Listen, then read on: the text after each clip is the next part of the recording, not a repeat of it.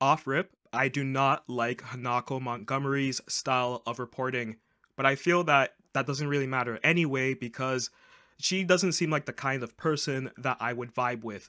I'm alright with that. Her reporting is everything that I hate about modern day journalism. A couple of days ago, Vice News put out a video on their channel called Inside the Pedophilic Manga Industry in Japan. Now, Vice is known for their gonzo style of journalism, but that title really threw me off. It's one of the most aggressive titles that I've seen from a major news reporter for a YouTube video, but whatever, it's their style, it's what they do. However, they seem to have it out for Japan. One of the most popular videos on Vice News is Japanese schoolgirls for sale or something like that, which, you know, that's a bit of a stretch. Even earlier this year, they had a video about Japan's hostage situation which it, that that's a real thing. Japan's justice system fucking sucks. So there's definitely uh, a, a, need for a lot more attention to come to that. But i don't know. I, I just feel like they're trying to do everything they can to destroy japan's society and their values. And i mean like if that's what you want to do fine. That's cool. But what upset me about this video was the blanket statements and bad faith actors that made up a large amount of the expose.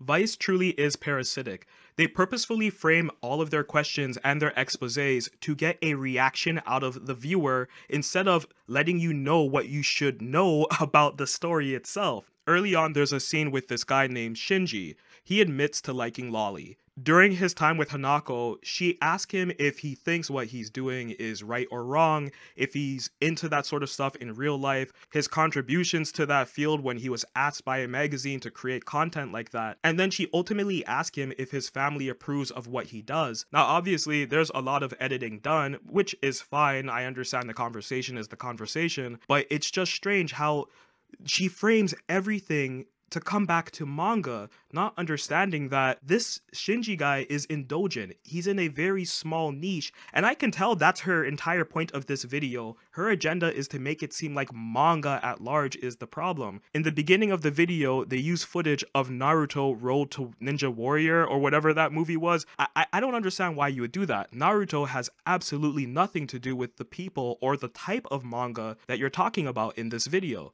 Hanako later talks to the director of a child protective organization, and I like getting her opinion as well. But again, everything that she uses in her interview with this director is framed around is manga the problem? Is manga the reason why there are predators now growing in Japan? It, it's manga, right? It's manga. It has to be manga. Every single thing keeps coming back to manga, and it's never about what kind of behavior in the communities is letting this be okay? Why are lawmakers unable to pass full laws against Loli and Shota? At no point does she ever bring any of this up. But then any credibility that Hanako had is immediately thrown out of the window when she infiltrates a store that sells this stuff and she is undercover and sneakily recording it. It's so stupid because she asked the store owner, off camera mind you, if she can record the contents of the store. The guy rightfully says no, but then her and her cameraman just sneak back in with the camera dangling from his neck and they're recording the contents of the store anyway.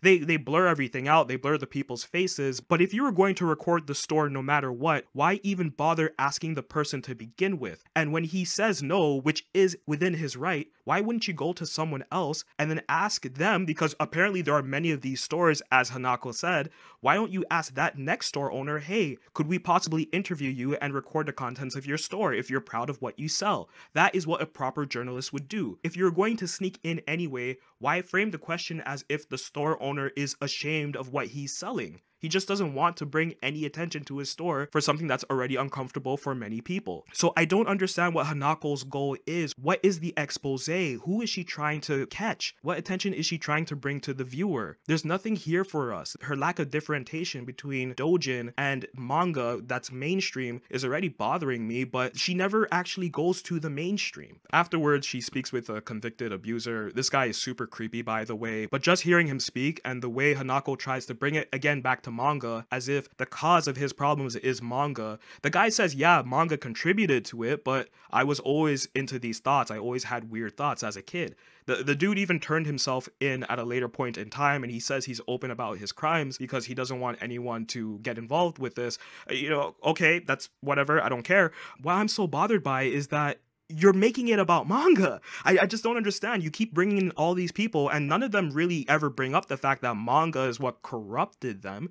You're the one who just keeps trying to make it about manga. I will give it to Hanako. She does have an assortment of people that she brings on for this this expose, but I, I just wonder why didn't you talk to normies? I would have loved to have gotten the opinion of someone who really isn't into manga, but maybe they have a friend or a brother who consumes this sort of content, or maybe they create that sort of content. Like you don't talk to the families. You don't talk to anyone who's been impacted by this. You talk with the guy who basically got away with a slap on the wrist, another person who isn't that well known for his contributions towards Loli and Shota. Minoru Ojino is interviewed towards the end. He's a politician and a small time Dojin mangaka, and while I appreciate Vice offering a fair, gray area counterpoint, Everything Ojino-san contributes still tips the discussion in Hanako's favor. It would have been awesome to speak with uh, the mangaka of Love Hina, for example, who's a sitting councilman right now, I believe.